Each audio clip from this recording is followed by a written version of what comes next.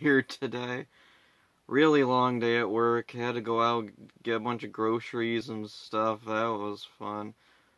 I got to go to Soundground, get some new comics. That's nice. But anyway, uh, yesterday I watched the next uh, Power Rangers Ninja Storm episode, Beauty and the Beach, which apparently is also the name of that one episode of Pokemon that they cut scenes from or banned or something. I don't know. It's the first thing that comes up when I typed in Beauty and the Beach. So anyway, uh, notes or summary. I'm tired. Let's see. One of the things I really like about this episode is this is one of the first times we get to see a lot of Marah and Kapri, and I really like Marah and Kapri. They're two of my favorite villains from the Disney era, at least until the end of Ninja Storm. The end is kind of weird, but whatever. They're really cool characters, they're really funny characters. I would love to see these actresses come back. It's kind of weird they insist on doing comedic characters now, and I don't know, seems like these two would work pretty well. Whatever, moving on. Uh, let's see. So they're making plans. We don't quite know what their plans are yet. And then uh, let's see at uh, crap, what's going on? Oh yeah, at the beach. Let's see. Tori's just been done surfing. She goes up to talk to Shane and Dustin. She's like, "Oh hey, what that guy want to talk to you guys about?" And Dustin or Shane, I don't remember which one now, is like, "You're not gonna believe this. That guy wanted to go out with you." And she's like, "What?" Yeah, we told her you weren't interested. What? Why would you tell him that without me saying so? What? and yeah, it's a. I don't know. It's a type of thing we wouldn't. It's a kind of conversation we don't see anymore in Power Rangers. Oh, and this guy that likes her, we never see him again after this episode. I don't think. So, yeah, no big loss, but whatever. Uh, anyway, so she's a little ticked off with them, and then let's see. Later, they're at Storm Chargers and uh, there's a funny little conversation with her, Shane, and Dustin, and then the boss Kelly comes in, where uh, Shane and Dustin are trying to apologize, but not apologize at the same time, and they're like, "Well, you're not a girl, girl. You're you're like a guy, girl." And then Kelly comes in. You guys better stop talking. You're only making it worse, or something. It's, it's a really good scene. Like the dialogue in Ninja Storm is really good so far. It's like really snappy. Everything just like it feels very natural. Something that like in the Saban era, the dialogue sometimes feel kind of dry, like it's clearly scripted.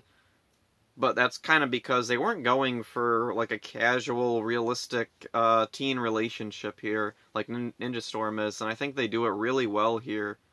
I kind of wish the more recent seasons could have been a little bit more like Ninja Storm, since they try to be like casual, like uh, uh like modern teenager talk, but eh, they really can't seem to get it right. So anyway, uh, Tori gets a offer from this magazine, Girl Sport, saying that they want her for a photo shoot. And so then she's like, oh, cool, I'm going to go to this photo shoot. So then she goes down to the location and uh, up in the rocks, we see these two mysterious rangers, a dark blue and a dark crimson-ish ranger, and they're speaking in deep voices, and they'd be really ominous if they didn't talk like dude bros. There she is. Yeah, we'll get her soon, bro. I don't know, the bro just makes it really silly. Also, I'm not sure what's up with the deep, garbled voices. Because I've I've seen Ninja Storm a bunch of times. When I was a teenager, this is like the series I saw the most of because I had tapes and DVDs of it. it was on TV. I had some of that on tape, I think. So anyway, uh, moving on. Uh, Tori follows the direction. She goes to the photo shoot, and we see Marah and Kapri, though Tori isn't immediately aware that it's them. Has she even met Marah and Kapri yet? I don't think they've had any major scenes together. Whatever. So anyway, uh, they set up the camera, and it turns out the camera is the trap. They turn on the camera, and it zaps Tori and sucks her into the camera. Or, well, first it makes a double of her, and then it sucks her into the camera. Two for one. Oh, and also they dressed up Tori in a silly outfit. I don't know.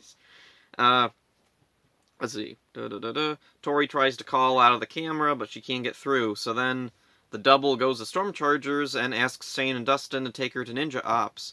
So then uh, they're going to Ninja Ops. The, meanwhile, the real Tori figures out a way to escape the uh, camera just by uh, using her ninja powers, and she like propels herself with water out of the camera. Kind of a simple uh, resolution to that, but whatever, it works. It's when I was a kid, it's not really the type of thing I thought about. Like I didn't think about it as kind of a oh well, that was really easy. I just kind of accepted it as part of the episode. It feels like a natural part of the episode. Like she's not in the camera for long before she thinks to do that. And Marah and Kapri just leave the camera there. They're not the smartest. so then uh, the double is with Shane and Dustin, and she's kind of giving away that she's not the real Tori. She's really mean, she's loud and obnoxious, and they're like, huh, she's acting weird, isn't she? And then, let's see, oh yeah, the guy from the beginning uh, who had asked about Tori, he walks by and he's like, hey, and double Tori is like, and then she gets in the car and Shane's like, dude, what, what, what, that, what was that, that, that was the guy, and she's like, what guy, whatever, Ninja Ops, oh, okay, and then, uh, the real Tori shows up, and they're like, whoa, what, and, uh, let's see, da, da, da.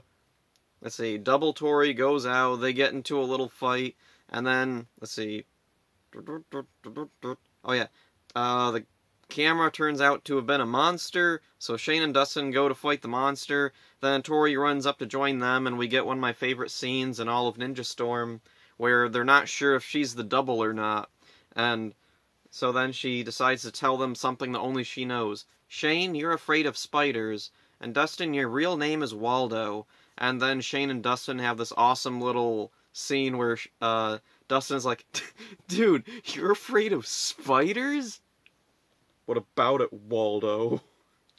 I love that. And the way Dustin reacts just I just love the emotion just yeah. Freaking awesome. Uh Ninja Storm had some really like great uh comedic moments. I kind of miss in the current se- series they don't really do comedic moments with the Rangers themselves. Occasionally we get stuff, in Dino Fury recently, there was some pretty funny stuff with the Rangers, though I kind of wish it had felt more natural, like it doesn't. Like, I'm gonna keep using the word natural here because that's how it feels. I'm thinking this is probably back when they gave the actors a lot more freedom to ad lib and just be themselves, and like they weren't locked into a script really hard. They had freedom to move around in it and kind of expand on stuff, and that really helps in scenes like this, especially if they're naturally talented and funny.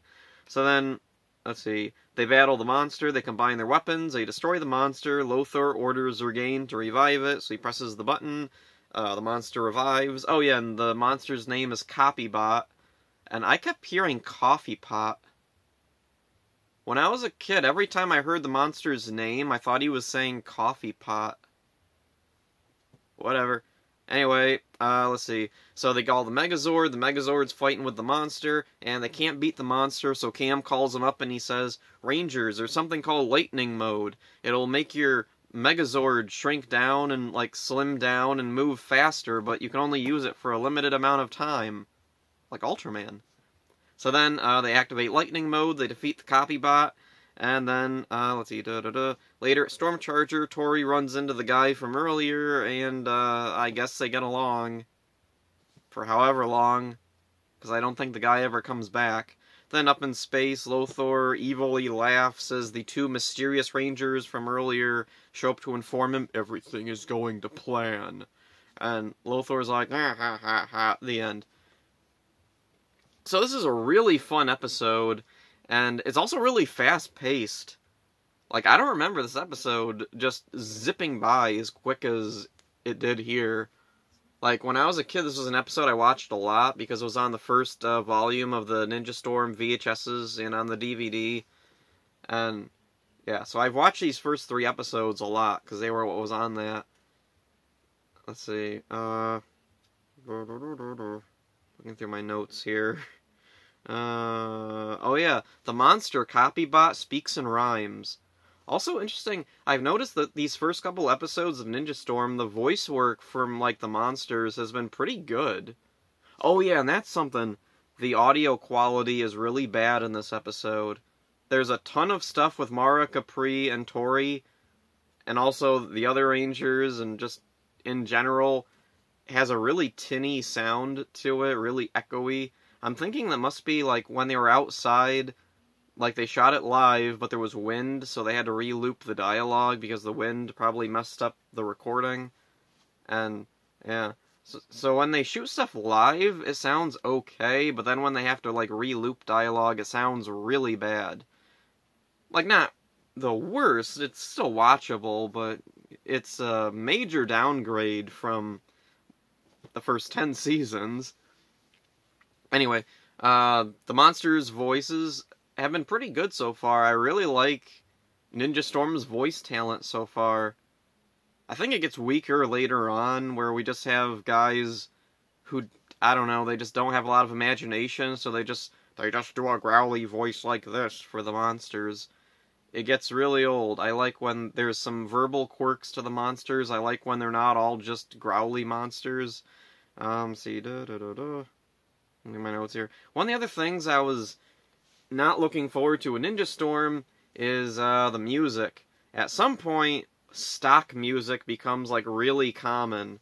There's been a few parts of it here and there so far, but nothing really notable. It's just in the background, and it's usually like behind like original music or at least music that doesn't immediately remind me of stock music.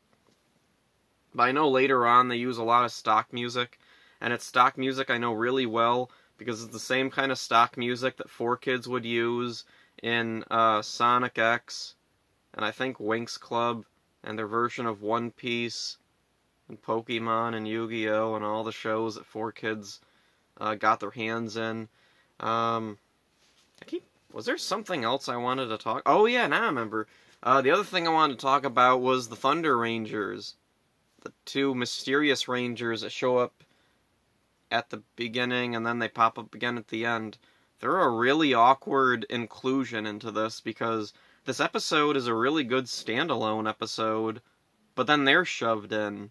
They just don't feel natural to it. They don't feel necessary. They don't serve any purpose. And the whole garbled deep voice thing is just I don't know. I can't remember if they actually explain that when they do reveal who they are.